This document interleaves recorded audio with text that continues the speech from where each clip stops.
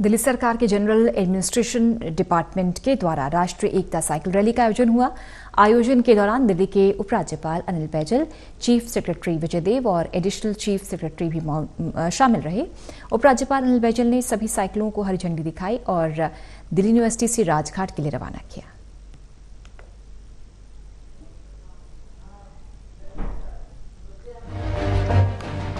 दिल्ली में लोगों को बढ़ते प्रदूषण और सेहत के प्रति जागरूक करने के उद्देश्य से साइकिल रैली का आयोजन किया गया। ये रैली दिल्ली यूनिवर्सिटी से होते हुए विधानसभा, चंदगीराम अखाड़ा, हनुमान मंदिर, outer ring road, Geeta colony flyover होते हुए राजघाट तक पहुँची, जहाँ रैली का समापन हुआ। साइकिल रैली को उपराज्यपाल अनिल बैजल ने हरी झंडी दिखाकर रवाना किया। अनिल बैजल ने कहा, ये एक अच्छा कदम है।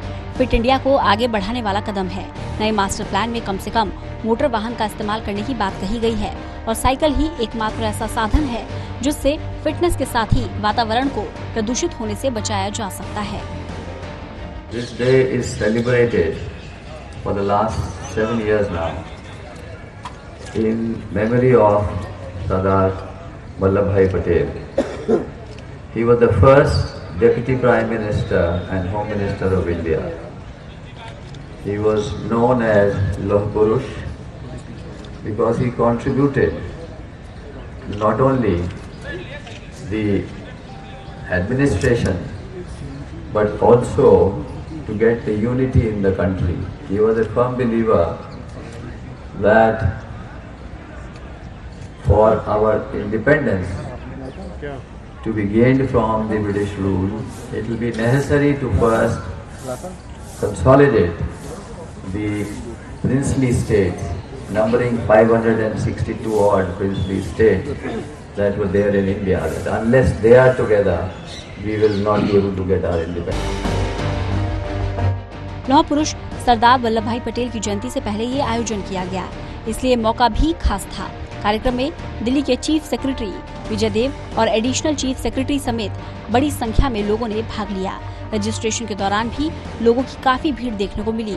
लोगों में काफ़ी उत्साह दिखा। चीफ सेक्रेटरी विजय देव ने कहा, ये एक खास पल है और लोगों को इससे एक बड़ा संदेश पहुंचेगा। वातावरण को प्रदूषित होने से बचाने के लिए सभी को मिलकर लड़ाई लड़नी होगी। हम साइकिल रैली से लोगों को एक बड़ा मैसेज देना चाहते हैं। दिल्ली के लिए एक बड़ी समस्या प्रदूषण है और प्रदूषण की लड़ाई में साइकिल एक अच्छा हथियार साबित हो सकता है।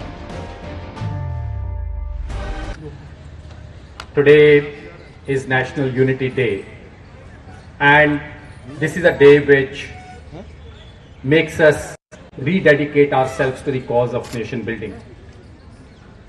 And this task of nation building has to be performed in more ways than one. Unity amongst its citizens is, of course, the first prerequisite. But equally important are our other commitments which today's cycle rally represents. Our commitment to preservation of ecology and environment, our commitment to staying fit and healthy. These two are also equally important commitments, which in fact are two building blocks for a resilient and strong nation. Cycle rally में पहुँचे लोगों में भी काफ़ी उत्साह देखने को मिला लोगों ने कहा कि ऐसे आयोजन होते रहने चाहिए लोग फिट रहें और ऐसे कार्यक्रमों के लिए जागरूक रहें इसलिए लोगों को ऐसे कार्यक्रमों के लिए समय भी निकालना चाहिए वहीं लोगों ने कहा अब समय आ चुका है जब लोगों को अपनी साइकिल के प्रति सोच बदलनी होगी।